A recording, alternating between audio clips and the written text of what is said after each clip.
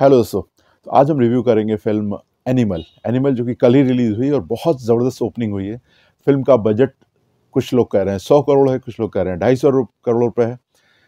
कह सकते हैं 150 करोड़ के आसपास फ़िल्म का बजट है और फ़िल्म बहुत भव्य स्तर पर बनाई गई बड़े स्तर पर बनाई गई। फ़िल्म आ, कई भाषाओं में रिलीज़ करी गई और ये भी ध्यान में रख के बनाई गई कि फ़ॉरेन के जो मार्केट है ओवरसीज़ मार्केट में भी फ़िल्म अच्छा व्यवसाय करे और कर भी रही है। पहले इनकी रिपोर्ट आने के बाद ये पता लगता है। फ़िल्म में ऐसा क्या है? ऐसे क्या खास बातें हैं जिस वजह से फ़िल्म में इतनी ज़बरदस्त ओपनिंग मिली तो चलिए, पहली चीज़ तो फ़िल्म का नाम एनिमल फ़िल्म जो आप देखेंगे, पूरी फ़िल्म तो देखने के बाद आपको बिल्कुल सटीक इसका टाइटल लगेगा, बिल्कुल सटीक टाइटल है। फ़िल्म में जितना दिखाया गया है, जिस तरह से दिखाया गया है, जानवर या एनिमल फ़िल्म का बहुत ही सटीक टाइटल है, पहली चीज़। दूसरी चीज़, फ़िल्म के डायरेक्टर संदीप वेंगा। संदीप रेड्डी वेंगा, जो कि कबीर सिंह, जिसके ऊपर बेस्ड मूवी आई थी एक, साउथ की, उसको भी उन्होंने डायरेक्ट किया था, और ये इनकी दूसरी मूवी है, बल्कि और भी कई फ़िल्में डायरेक्ट की हैं तो उनका डायरेक्शन बहुत ज़बरदस्त है, बहुत भव्य स्तर का सोचते हैं। फ़िल्म में इमोशनल सीन्स भी हैं, कुछ कॉमेडी भी है, फ़िल्म एडल्ट है, ये आपको बता दूँ, हिंसा बहुत ज़्यादा है, कुछ एक एडल्ट सीन्स भी हैं लेकिन आजकल का जो माहौल है, उसमें इतना ज़्यादा कुछ कह नहीं सकते आप। सब कुछ ऐसे ही चल रहा है और समय के साथ, परिभाषाएँ भी बदलती चली जा रही हैं और पर्यावरण भी बदल रहा है, समाज का माहौल भी बदल रहा है। तो उस हिसाब से फ़िल्में बनती भी हैं, उस हिसाब से मार्केट को देख करके फ़िल्में बनाई जाती हैं, पब्लिक की चॉइस देख करके बनाई जाती है और इंटरनेशनल मार्केट में भी फ़िल्म को चलने देना है तो उस चीज़ को भी ध्यान में रखा जाता है। कुछ चीज़ें फ़िल्म में, जैसे कि मैंने आपको बताया, एक्टिंग बॉबी दियोल पहली बार एक विलेन के रूप में फ़िल्म में आपको नज़र आएँगे। अभी तक हालाँकि सीरियल में आते थे। छोटा रोल है, बहुत बड़ा तो नहीं है, लेकिन बहुत अच्छे तरीके से निभाया उन्होंने। इसके अलावा अनिल कपूर भी एक अलग से रोल में है। पहली बार उनको एक बिजनेसमैन के रूप में दिखाया गया, जो कि अपने बेटे से उसके रिलेशंस इस पूरे टॉपिक के ऊपर फ़िल्म बेस्ड है। बेटा अपने पापा से बहुत ज़्यादा प्यार करता है, बचपन से, लेकिन पापा उसको उतना वक्त नहीं दे पाते। तो इन चीज़ों को ध्यान में रख के फ़िल्म को गढ़ा गया और जहाँ तक सवाल एक्टिंग का है अनिल कपूर ने अच्छी एक्टिंग की है।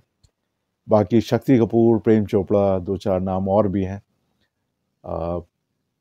तृप्ति डिमरी जिन्होंने जोया का किरदार निभाया तो कुछ किरदार और इनके छोटे छोटे रोल्स हैं इन्होंने अपने किरदार को अच्छे से निभाया लेकिन ज़्यादा कुछ करने को नहीं था।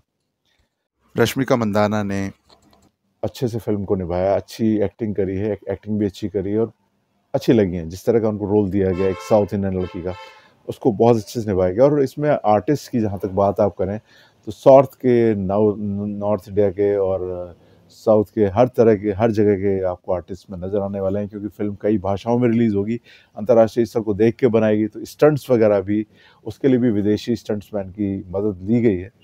बहुत सारी चीज़ें आपको इसमें लार्जर दैन लाइफ नज़र आने वाली हैं। कुछ, कई बार आपको ऐसा लगे जैसे आप आर्नल्ड की मूवी देख रहे होते हैं। उस तरह के वेपन्स वगैरह इसमें दिखाए गए हैं। तो काफ़ी कुछ है और म्यूज़िक प्रीतम। प्रीतम का म्यूज़िक अच्छा है, गाने अच्छे हैं। पाँच या छः गाने हैं, सभी गाने अच्छे हैं। सोनू निगम का गाया हुआ गाना मुझे सबसे ज़्यादा पसंद आया और शायद लॉन्ग रन में वही गाना चलने वाला भी है। बाकी अरिजीत सिंह के गाने तो चलते ही हैं आजकल। अब आइए मेन बात करते हैं फ़िल्म के हीरो यानी रणबीर कपूर की। तो संजू के बाद पहली बार ऐसी मूवी लगी कि रणबीर कपूर अपने भूते किसी फ़िल्म को चला सकते हैं।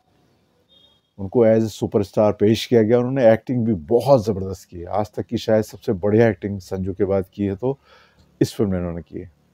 और कई बार ये मुझे लगा भी, जैसे संजू के ही गेटअप भी वही यूज़ किया गया, लंबे बाल, वही चेहरा, लेकिन एक्टिंग वाकई बहुत अच्छी करी और ख़ास तौर से एक सीन जो आपने ट्रेलर में भी देखा होगा, अनिल कपूर और रणबीर कपूर का। वो सीन भी ज़बरदस्त बन पड़ा है। और कुछ सीन्स जो उन्होंने अपनी पत्नी के साथ हैं, वो भी अच्छे हैं इमोशनल सीन्स हैं। और एक स्पेश स्पेशल जो रोल एक छोटे बच्चे का जिसने रणबीर कपूर के बाल रूप में दिखाया है, उसने भी बहुत बढ़िया एक्टिंग करी है। और विलेन के रूप में मैंने आपको बता ही दिया। और हाँ एक बात और बताऊँ, कि फ़िल्म का दूसरा या तीसरा पार्ट भी ज़रूर बनने वाला है, क्योंकि फ़िल्म को कुछ इस तरह से गढ़ा गया है कि ताकि पूरी स्टोरी एक बार में ख़त्म नहीं हुई। मुझे लगता है कि पार्ट टू और पार्ट थ्री भी डायरेक्टर और प्रोड्यूसर के दिमाग में रहने वाला था। इस वजह से उन्होंने इस तरह से बनाया और फ़िल्म बहुत लंबी है। तीन घंटे इक्कीस मिनट की मूवी लेकिन आपको कभी भी बोर नहीं होने देती है। हाँ कई बार थोड़ा सा आपको लगता है कि एक्शन बहुत ज़्यादा है, हिंसा बहुत ज़्यादा है, और कई बार ऐसा लगता है कि शायद प्रोड्यूसर डायरेक्टर किसी एक कार्टून से प्रेरित होकर के उन्होंने फ़िल्म को बनाया होगा। लेकिन अच्छा है फ़िल्म में कई बार आपको हॉल में सीटियाँ सुनने को मिलेंगी, कई बार आपको तालियाँ भी सुनने को मिलेंगी और बहुत ज़बरदस्त ओपनिंग फ़िल्म ने करी है। कह सकते हैं कि साल जाते जाते एक बहुत ज़बरदस्त हिट मिल गई। कलाकारों के लिए भी बहुत अच्छा है, सिनेमा जगत के लिए भी अच्छा है और ऑडियंस के लिए भी अच्छा है। ऑडियंस ऐसी फ़िल्म देखना चाहती है जिसमें बोर ना हो सब्जेक्ट थोड़ा सा अलग हो थोड़ा सा हट के हो। डायरेक्शन अच्छा हो म्यूज़िक अच्छा हो लोकेशंस बहुत अच्छी हों और, बाकी कुछ मैंने आपको बताया लार्जर देन लाइफ है, अच्छी मूवी है, आप देख सकते हैं। देख सकते हैं आप इसको, इसके बॉबी देओल के लिए। देख सकते हैं रश्मिका मंदाना के लिए देख सकते हैं आप फ़िल्म के हीरो रणबीर कपूर के लिए। और रणबीर कपूर ने, कहते हैं, इस फ़िल्म के लिए बहुत बड़ा अमाउंट लिया है। और बाकी कुछ सीनियर किरदार, सुरेश ओबराय सुरेश ओबराय हैं, शक्ति कपूर हैं, प्रेम चोपड़ा है। ये तीन चार किरदार ऐसे हैं जो कि बहुत बड़े रोल नहीं है, लेकिन हाँ अपनी उपस्थिति दर्ज करवाते हैं। अब इस एज में जाकर भी छोटे मोटे रोल मिल रहे हैं, अच्छी चीज़ है। ऑडियंस बहुत मच्योर हो गई है मार्केट बहुत बड़ा हो गया है इंटरनेशनल मार्केट हो चुका है, कई जगह रिलीज़ होती है फ़िल्म करीब चार हज़ार स्क्रीन पर रिलीज़ करी गई कह सकते हैं आप बहुत अच्छी और ज़बरदस्त मूवी है। एक्शन बहुत बड़े स्तर पर दिखाया गया और आपको लोकेशंस भी अच्छी हैं। लोकेशन अच्छी है सिनेमाटोग्राफी भी अच्छी है म्यूज़िक भी अच्छा है। एक भव्य मूवी देखने को लगती है कि बहुत भव्य स्तर की फ़िल्म बनी है और फ़िल्म बनी भी अच्छी है। एक्टिंग भी बहुत अच्छी करी, खासतौर से रणबीर कपूर और अनिल कपूर। इन दोनों ने बहुत बड़ी एक्टिंग करी और हर किरदार ने अपना रोल उसमें बखूबी निभाया, छोटा किरदार हो, बड़ा किरदार हो। डायरेक्टर की भी तारीफ़ करनी पड़ेगी और उनके विज़न की तारीफ़ करनी पड़ेगी। चीज़ों कुछ अलग तरीके से फ़िल्म आएगा तो बस ये था आज का रिव्यू और आप लोग भी जाइए, देख के आइए। फ़िल्म बहुत अच्छी है। मैंने तो फ़र्स्ट डे फ़र्स्ट शो देखा। उम्मीद करता हूँ आप लोगों की फ़िल्म बहुत पसंद आने वाली है।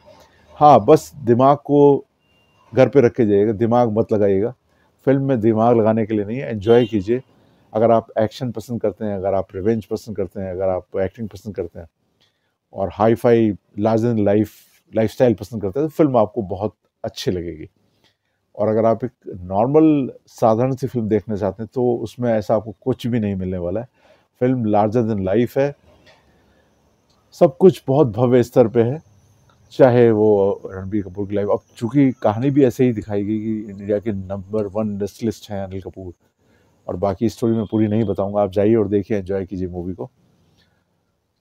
तो जाइए और मूवी देख के आइए और बताइए रिव्यू मैं फ़िल्म में देखना, देना चाहूँगा आपको। लोकेशन के हिसाब से बहुत अच्छा एक्टिंग के हिसाब से बहुत अच्छा। हाँ थोड़ा सा ये है कि लार्जर देन लाइफ ज़रूर है, लेकिन कुछ चीज़ें ऐसी दिखाएगी जो शायद गले में नहीं उतरती हैं, लेकिन सिनेमा है ही वही। आप बस ड्रीम करते हैं और उसको पर्दे पर उतार देते हैं। एक कलाकार की और एक डायरेक्टर की, प्रोड्यूसर की यही कल्पना होती है कि आपको लार्जर लाइफ चीज़ दिखाए अब माहौल बदल भी बहुत गया। उस लिहाज से कह सकते हैं अच्छी मूवी है। एन्जॉय कीजिए, दिमाग घर पर रखे जाइए। कई बार फ़िल्म आपको हंसाएगी, कई बार आपको इमोशनल भी करेगी, कई बार आपको आँसू भी आएँगे आँखों में। कुल मिला के अच्छी फ़िल्म है जो आप देख सकते हैं। बाकी ए सर्टिफिकेट मिला हुआ फ़िल्म को ध्यान रखिए। जाइए एंजॉय कीजिए। और बताइए, कैसा लगा आपको मेरा रिव्यू अगली बार फिर आता हूँ आपसे मिलने के लिए। तब तक आप लोग अपने घरों में स्वस्थ रहें, मस्त रहें, व्यस्त रहें, यंग दिखें, देखते रहें मेरे वीडियोस को। बहुत सारे वीडियो बनाता हूँ, अगर कोई फ़िल्म देखता हूँ रिव्यू डाल देता हूँ। और बाकी ब्लॉग्स तो होते ही मेरे। चैनल पे पहली बार आए सब्सक्राइब कीजिए बेल आइकन दबाइए। ये आपको बार बार नहीं करना, मेरी अगली वीडियो की नोटिफिकेशन मिलती रहे आपको। ये उसके लिए अच्छा है। और कमेंट करके ज़रूर बताइए, आपको रिव्यू अच्छा लगा, बुरा लगा, कैसा लगा? अच्छा लगा लाइक कर दीजिए और शेयर भी कर दीजिए, सभी लोग देखें फ़िल्म जा करके। हॉल में देखना अच्छा रहता है। जो मज़ा हॉल में आता है, वो घर में नहीं आता, आप कुछ भी कर लीजिए। तो एक बार फिर आपसे विदा लेता हूँ। Have a nice day bye bye